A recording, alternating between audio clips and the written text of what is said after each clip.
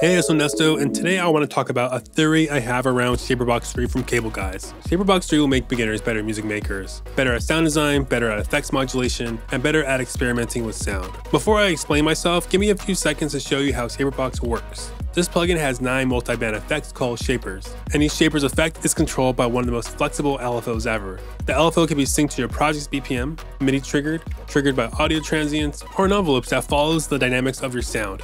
And if you want to try it out, Cableguys has a free demo for you to download. There's a link below for more details. So how does ShaperBox 3 make you a better artist? To answer that, here's my experience on what I'm calling the three stages of ShaperBox 3. Stage 1, One Trick Pony. I picked up ShaperBox because I saw a couple of cool tricks in a YouTube video. One trick was achieving a super clean sidechain, which you can do by first placing volume shaper on the kick.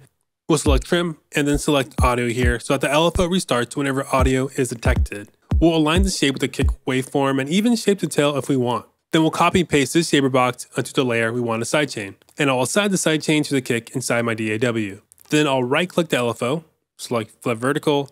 So now this LFO is mirroring the kick's LFO shape. And then I'll just click the sidechain button here inside ShaperBox. and now this sidechain should work perfectly with the kick. If I want to make it more transparent, I'll adjust the band here so that the sidechain ignores what's in the high band. I think that sounds so much more precise than I could have done with stock plugins. Before ShaperBox and after.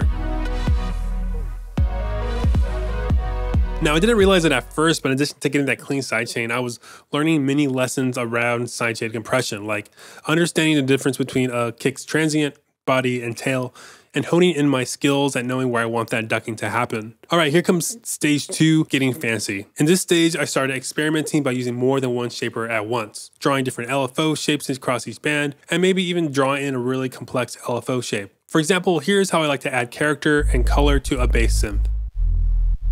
Right now, it, it sounds fine, but it's a little plain and safe. So I like to combine the noise shaper, drive shaper, and crush shaper to help make it more interesting. Starting with noise shaper, I just have a vintage console happening, but I made sure to filter the noise so only the high end is coming through. And I enabled envelope follow, so that the noise is a dynamic layer that follows the bass rather than a static one. Then I added in drive shaper. On this module, I made use of the three multi-bands by customizing the settings in each band. The biggest factors are giving each band a different drive style and LFO shape and mix level. Without it, a little too clean and pristine, but with Drive Shaper, we get that lovely fuzz I was looking for. And then we finish it off with Crush Shaper. I just wanted to bit crush the mid and high frequencies, but I gave the bits and resample controls different LFO shapes to give it some movement. And the mix is quite low on this one. Before. And after. What a difference.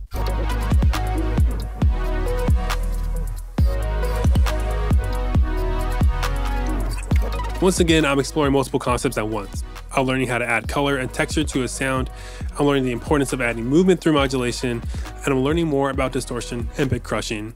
And what I'm learning here is not just exclusive to ShaperBox. I can apply these lessons to other plugins, thereby making me a little better at all my plugins. Lastly is stage 3, opening Pandora's presets. Yeah, that's a dumb name, but just please stick with me. For example, the other day I discovered this preset I really love how I totally flipped the sample by adding in a repeat and even giving it a plucky rhythm. From there, I checked out what was going on under the hood and learned that I can use Time Shaper to create that repeating effect. And the plugginness is made with a simple LFO and volume shaper. And surprisingly, it used sort of a step LFO inside Drive Shaper to emphasize some of the plucks made by Volume Shaper, which honestly, using modulation within Drive Shaper to create rhythm is something I never would have figured out. And again, I'm excited to apply these sound design concepts to other plugins, but it all started with ShaperBox. And I hope you see the point I'm trying to make. This plugin isn't just about adding some cool effects. I'm constantly learning sound design principles that can be used in and outside of ShaperBox 3. And because of that, I'm becoming better at this music producer thing. And I wouldn't be surprised if you experienced a similar story. Try ShaperBox 3 for free by clicking the link down below. And check out my favorite plugins in this playlist here. Thanks for watching. Later.